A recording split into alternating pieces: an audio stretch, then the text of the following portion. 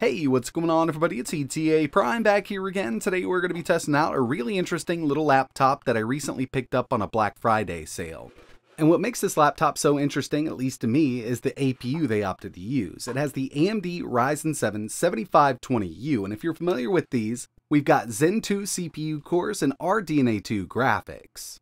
AMD actually called these Mendocino APUs, and uh, we've taken a look at a lower end version, a Ryzen 3. I haven't been able to get my hands on the Ryzen 5 until now, and I'm really interested to see what we can do with this.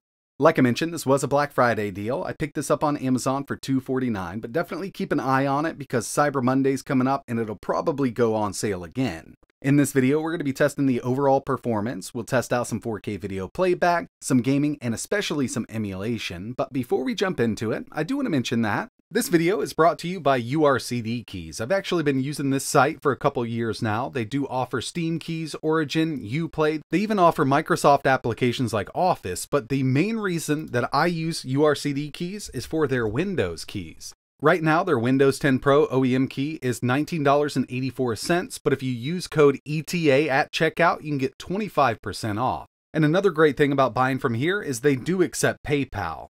I just did this build here. I need to activate Windows. I'm going to head over to my updates and security. We're going to go to activation.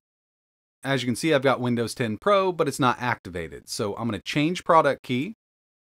I'm going to paste it in here, choose next, Choose Activate, and Windows is now activated. We're ready to go. My warning is totally gone, and basically that's it. They'll email your code once your payment is processed, and that's basically it. If you're interested in picking up cheap Windows 10 keys for your new PC builds, I'll leave a link in the description.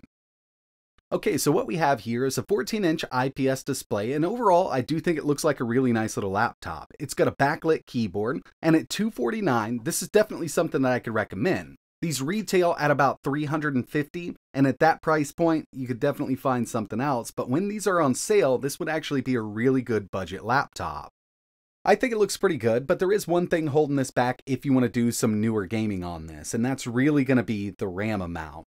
This version here only has 8 gigs, and it's LP DDR5 running at 5500 megatransfers per second, but it's soldered to the board and there's no way to upgrade it. Now with some of these newer laptops, I've actually seen half of it be LP DDR5 soldered to the board, and you get a single DIM where you can upgrade the RAM. Unfortunately, that's not the case with this here. When it comes to I.O., over here on the right hand side, we've got a full-size USB 3.0 port and a 3.5mm audio jack. Moving over to the left hand side, power in, USB Type-C, full-size HDMI, and one more full-size USB 3 port. Not a ton of I.O., but it can definitely get you by. Again, I was really hoping that I could get in here and add a little more RAM to it, but unfortunately, as you can see, it's just soldered to the board. Basically, the only thing we'll be able to upgrade here is the SSD. This did come with a 512 gigabyte drive, and you could upgrade to Wi-Fi 6 if you wanted to. This does come pre-installed with Wi-Fi 5, and in my opinion, I mean, it's more than enough for a laptop like this. And with this and a lot of newer laptops on the market, we don't get a dedicated Ethernet port, but we've got a lot of USB here that we could utilize if we really needed to. Now, when it comes to the main specs, like I mentioned, this is powered by a Mendocino chip. It's the AMD Ryzen 5 7520U. Four cores, eight threads. It's got a base clock of 2.8 gigahertz and a boost up to 4.3. And with the way the power is set up on this in performance mode, yeah, I mean, we can actually boost up to 4.3. And when it comes to the iGPU, we've got the Radeon 610M. This is based on RDNA 2, but instead of having something like 8 or 12 CUs, we've only got two running at 1900 MHz. It's definitely going to bring that GPU performance down, but these were meant to be budget chips, and with the price on a lot of these Mendocino laptops coming down, it might be worth it to some people. We get 8 gigabytes of LP DDR5 at 5500 megatransfers per second. I'm sure you could get one of these with 16, but you're going to pay a little more than $249. A 512 gigabyte M.2 SSD with a resolution of 1920 by 1080. It's got a 16 by 9 aspect ratio, Wi-Fi 5, Bluetooth 5.1, and this is running Windows 11 Home right out of the box. Alright, so like I mentioned, this is definitely a chip I've been wanting to test out, and as you can see, we've got that 7520U, 4 cores, 8 threads, only 8 gigabytes of RAM, and that's kind of going to really hold us back here with this laptop. Uh, if we had 16, we could definitely run some more games. Unfortunately, something like Doom Eternal just won't launch, gives me a low memory allocation error, just like uh, Street Fighter 6, and Forza Horizon 5 did start up, but it just doesn't have enough RAM to keep it going. Uh, unfortunately, I had some crashes there. If I can get my hands on something like this with 16 gigs, we will be testing some more out, but I was able to get a bunch of games up and running and emulators. Now, the first thing I wanted to see here was what kind of TDP we're running at. Want to make sure we've got enough power there for, you know, higher clocks on the CPU and iGPU. And for this, I've got core temp up, got our power here. Just run a stress test here. And from what I've seen so far, we're at 25, 26 watts. I have seen it boost up to 28, but then come right back down. Uh, we're down right there at 25 right now, and that's maxing out all four cores and eight threads. And overall, set up like this, it's not bad. Another thing we can see here is that CPU temp. Now the fan has spun up in this laptop. It's not horribly loud. I mean, we don't have like gaming laptop jet sounds coming out of this thing, but you can definitely hear it. And we're only at 81 degrees Celsius, been running at 25 watts for a little while. So the cooling system does look small, but it's actually quite sufficient for this little chip.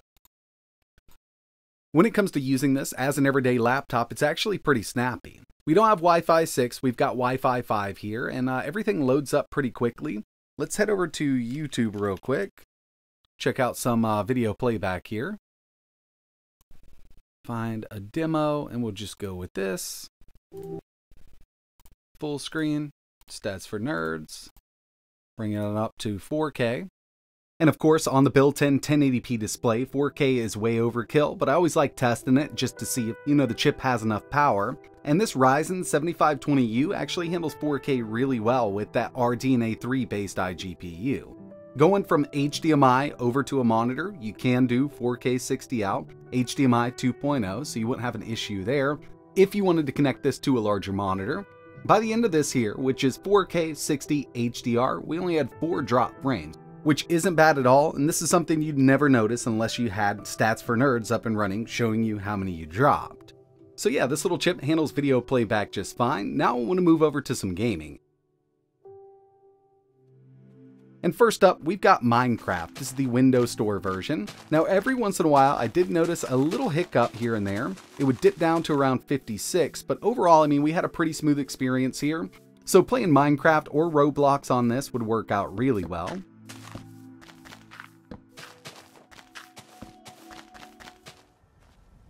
Now, I want to test something else. Moving over to one of my favorite games, we've got OG Skyrim. 1080p, low settings, and at medium, we're right there about 56 FPS. So I dropped it down to low. You could definitely do a little bit of a mix, but it's going to handle these older games very, very well. Source games are going to run just fine at 1080p medium settings. We could take this up to high, turn VSync on, and have a really nice steady 60 FPS. But with Left 4 Dead 2 at medium 1080p, we had an average of 111 FPS. And I figured we'd be able to run games like this just fine. I mean, those Valve Source games don't take much nowadays. So Half-Life 2, Portal 2, games like that are going to be awesome on this little chipset. But the next thing I wanted to test out was some emulation because I can actually see this chip being really good for it. And the first one we have is the Dolphin emulator for some GameCube. I went straight into it with F-Zero GX. We're using the DirectX 11 backend, 720p. We're only pulling around 18 watts and it's running flawlessly. I mean, we're getting really great performance here. And at the native resolution with this game, it only pulls around 12 watts and it's going to run just as well. So it looks like we've got GameCube and Wii covered with this little system. Next up, we've got some PS2, and this was actually really impressive. Here's God of War 2 at 720p using the DirectX 11 backend. You can see we get a couple dips every once in a while, but overall, I mean, this is some really great performance coming out of this little chip, and it really comes down to those higher clocks on that CPU. I mean, as you can see, we're at 4.2 here, and that's all four cores. It would be nice if this was a little 8-core setup, but 4 cores and 8 threads for these emulators seems to work just fine. And the final thing I tested was PS3. Now unfortunately going up to a really hard to emulate game like Skate 3 kind of falls on its face. We only got an average of around 52 FPS, so it's not full speed, but there are a lot of games that will run at full speed. Here's Tekken 6, another one I tested was Demon's Souls that runs at 30 FPS natively, and we can run these all day long. But as you can see, our total package power is now at 24 to 25 watts with these higher end emulators. Okay, so I mean, for being a budget laptop, not too bad. I actually do like the fact that we've got a pretty decent screen here when you compare it to others on the market at the same price point. A lot of the other ones don't come in with a 1080p display. Not the brightest in the world, but we do have a backlit keyboard, and I think the design is really classic for these Acer laptops. It looks pretty good in my opinion.